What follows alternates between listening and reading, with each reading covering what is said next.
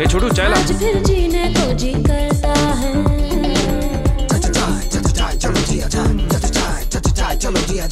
आज फिर तन मन हल्का हल्का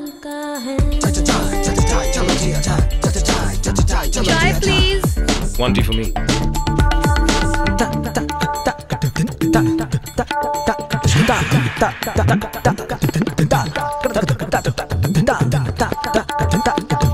दो चाय हर पल पी ले फिर मिले ना मिले ज़िंदगी जी ले आज फिर जीने को जी करता है चाय पियो मोर चाय